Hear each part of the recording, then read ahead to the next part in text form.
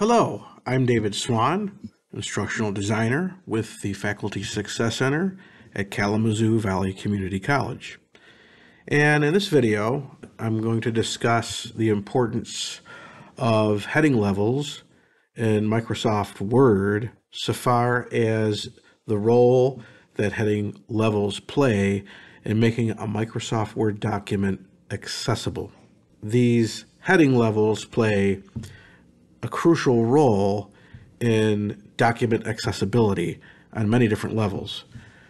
One of the more crucial ways it plays a role in accessibility, that is, heading levels, is providing the means for students with blindness and students with low levels of sight where they must rely on a screen reading app to read the document to them they're able to navigate through the document in a way that is similar to a sighted person, where we can look at the headings and subheadings, scan the document, and find what we want, or get a sense of what the document is about.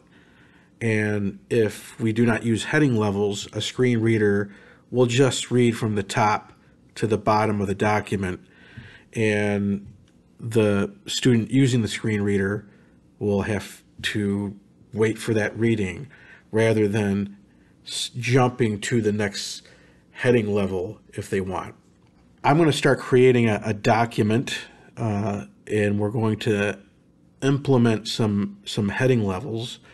So the first level we have here is normal you'll see right up here it is a normal level. And we could use we could call that body text or we could call that paragraph text. It's just the the regular text that you read. And ideally we're going to make that text a 14 point font as I discussed in a previous video. And I am going to paste some text in here just so I could demonstrate how we would use heading levels to organize text. So obviously, this is just regular body text. It's marked as such. And then up here, I want to add a uh, heading above this text. So we're just going to call this heading level one. So I'm going to type this in heading level one. And this would be a main heading not a title heading. A title heading would be something that would be like on a multi page document where you just want the title in front. Then that heading would be would be the title. Uh, in this case, we're beginning like a new section and we're going to make this heading level one, but obviously typing out the text and changing the size of the text where it's bigger doesn't make it technically a heading level one we have to go into the heading level here under styles. So in Microsoft Word, you're going to, you're going to be in your home tab and you're going to go into this area called styles and you're going to look for heading level one. I'm going to select that. So you've just made heading level one. And if you're on the same topic and you have a topic that's related to the above topic, it's slightly different, but you want it to be a different category, then we're starting to establish what we call a hierarchy of heading levels. So if this paragraph here is about something that's still under here, but it's still needs to be its own topic, then we would make that a lower heading level. So I'm going to do uh, a paragraph break here, and I'm going to type in heading level 2. And obviously, we're going to go in here, and we're going to make that heading level 2. And we could go even further. Why not add a heading level 3 and just randomly I will select a spot here. Let's say right here we'll do a paragraph break here and we'll make this, whoops, we'll make this heading level three, whoop, three. And I will select that text and now here I'm going to have to expand this and there's heading level three. Now you'll you'll see that perhaps the default font choices from from Microsoft are not the best choice for us here. Because really we want for our sighted students like this would work for uh, students using a screen reader. They're not seeing this. They're relying on the screen reader to read it to them audibly. But our sighted students could get confused. We have a 14 point font here our heading level 1 is 16 points so it's slightly bigger than this.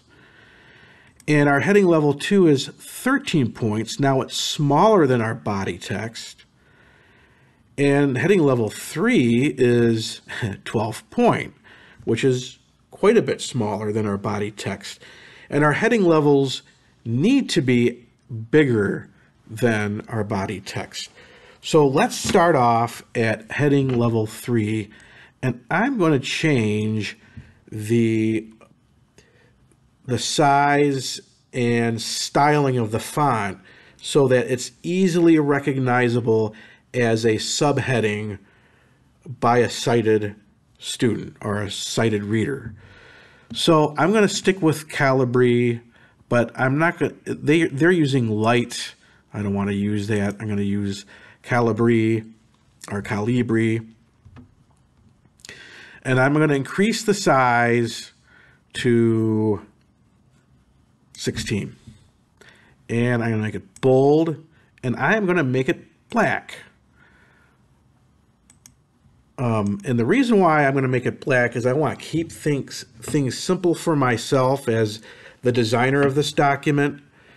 It is it is, it is obvious for a sighted student that this is a subheading. It doesn't need to be a different color.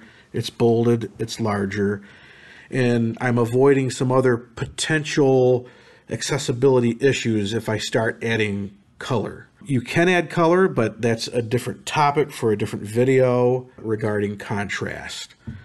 So I've made this 16, and you want heading level 2 to be distinctively larger than heading level 3. So I am going to uh, change this as well to regular Calibri.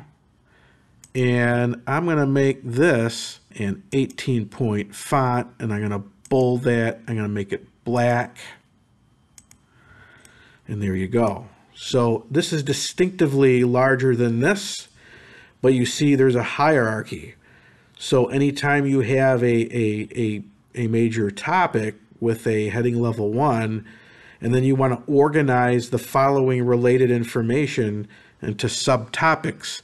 We use associated subheadings. So finally, heading level three, I'm going to go even larger and I'm, I'm going to go for a 20 point font. You could go with 22 if you wanted. Let's do that. We'll make it 22 to make it very distinct. And again, I'm going with the regular Calibri. I'm going to bold it. I'm going to change the color to black. All right.